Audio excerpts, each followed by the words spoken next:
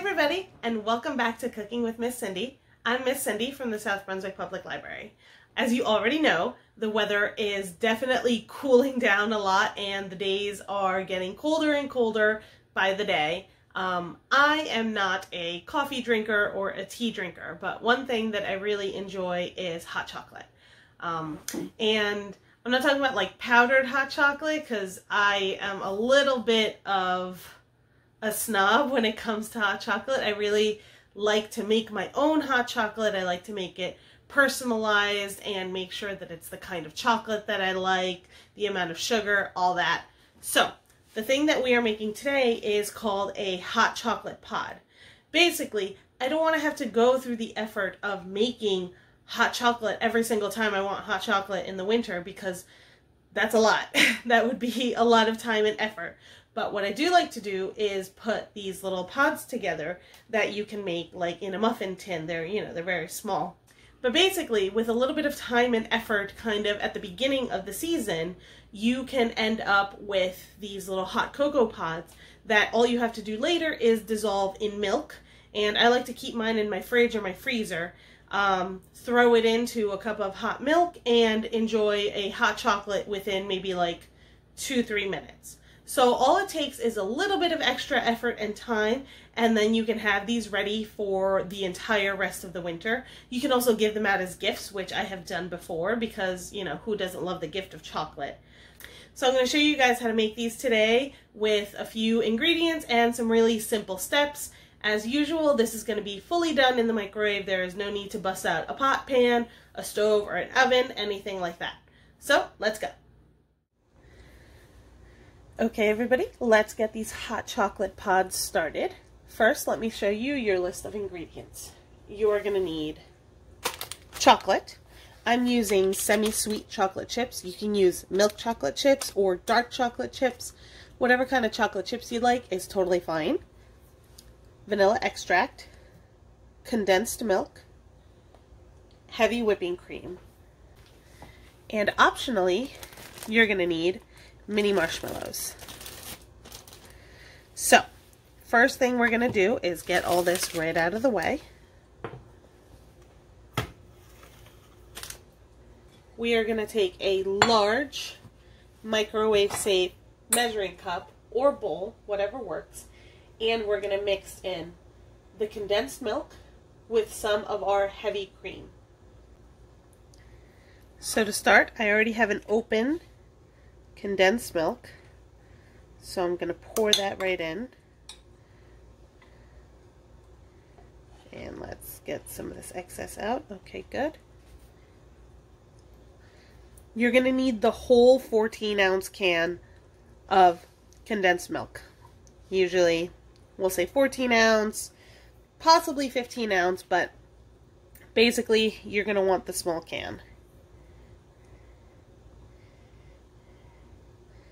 And I'm just making sure to get all of it. This is where our sugar is coming from. So that's why I'm using semi-sweet chocolate chips.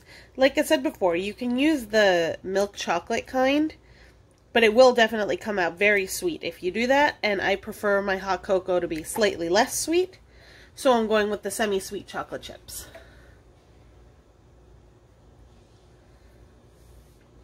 So once you have your condensed milk, you are going to take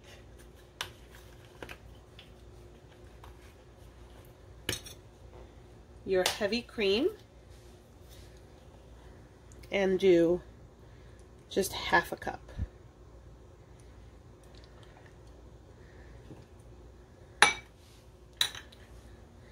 And make sure to give that a little stir.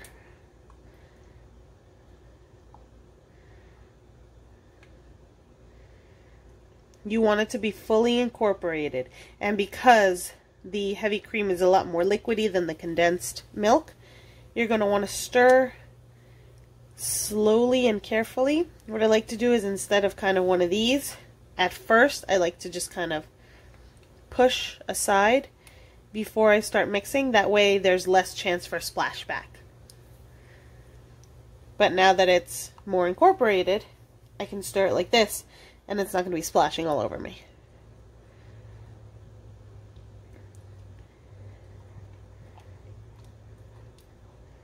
There you go.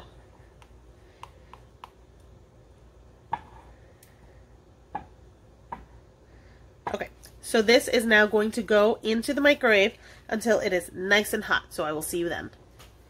Okay, so my milk mixture is out of the microwave. And as you can see, it's a lot more liquidy than when it started. That's because it is very hot. So I very carefully took it out of the microwave. It took about two and a half minutes to get this hot. Okay, so now it's time to add in our vanilla extract. This is technically optional, but it does add a good amount of flavor. So I like to definitely go for it and not skip it. So you're adding two teaspoons of vanilla extract to your milk mixture.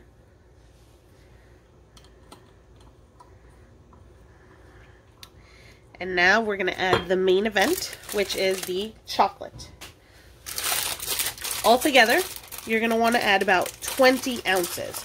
So 20 ounces, you think about it this way. A cup is 8 ounces. So 2 cups is 16 ounces, right?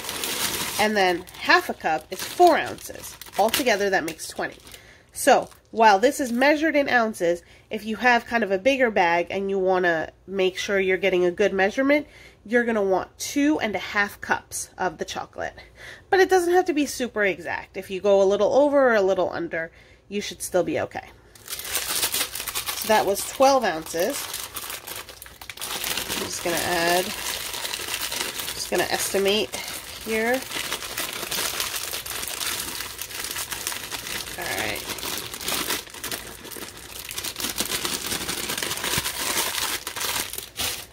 So, altogether I have my 20 ounces. Now, I started mixing right away, and immediately you could see that the chocolate is starting to melt. So, you want to kind of do a folding action, which instead of a stir, it's to go down and up. And that will help incorporate the chocolate. This is probably my favorite way of uh, melting chocolate anyway because it's a lot safer than trying to do it over the stove. You're not working with direct heat. It's all just melting from the heat that's left over in the milk. Just keep stirring and eventually you'll see that it goes from kind of like a lumpy brown to a much smoother, darker brown. So now that this is done, it's time to put it into a pod. Muffin liners. I have ones that are made of silicone, so they're reusable. But you can also use the paper ones that you get at the store.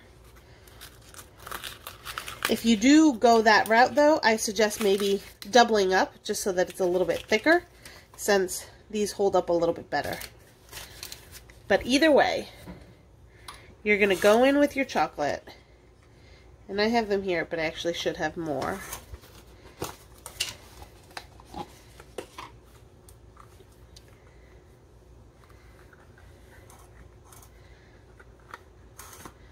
Alright. So you carefully, which is why I'm using a microwave safe um, measuring cup rather than a bowl because it's easier to pour. Just kind of dump a chunk till it's about three quarters full.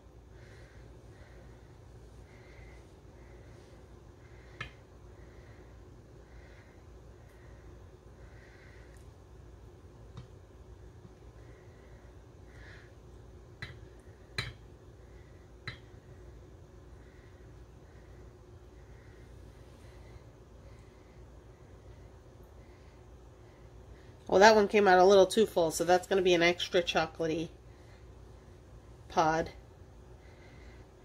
That's okay.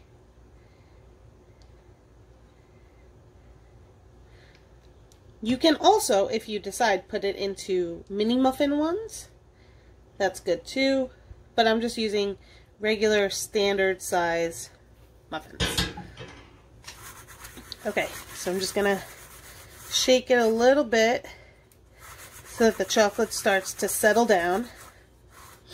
And now, again, optionally, you can add in marshmallows. I like to add in marshmallows because I think it makes it a little more special, but not everybody does eat marshmallows, not everybody can eat marshmallows, and not everybody likes marshmallows. So, like I say, they're optional. So you just take a couple, or like five, and you push them in. You want it so that when the chocolate hardens, the marshmallow stays a part of it.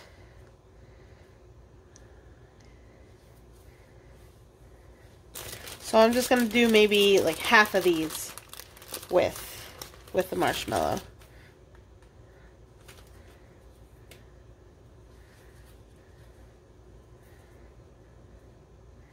Again, you want to push it.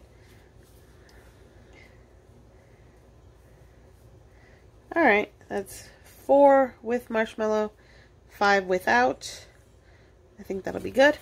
And now this is going to go in the fridge to harden up and solidify. It's definitely going to take at least a couple of hours.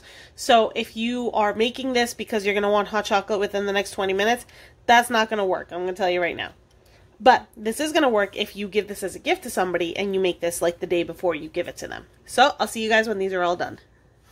Okay, so it has been a couple of hours and my hot chocolate pods are just about solid. So they're still, they're kind of soft, you know, like, like a really hard Play-Doh.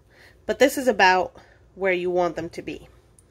So now that they're all done, you can feel free to unwrap them if you're using um, reusable silicone ones like I am. Or you can go ahead and keep them in their paper containers and gift them to friends or family, anything like that. So basically what you do is you take one of these pods and you melt it into two cups of hot milk. So basically you get a mug of hot milk you go ahead and just pop one of these in there. And just like before, when we just let the hot chocolate melt into the hot milk, it all melts together. Obviously, it won't come out as thick. And this will melt into the hot milk. Give it a stir, and you have a really good hot chocolate. So, I hope you guys learned something cool this time around. I hope you make something delicious with it. And I will see you guys next time on Cooking with Miss Cindy. Bye!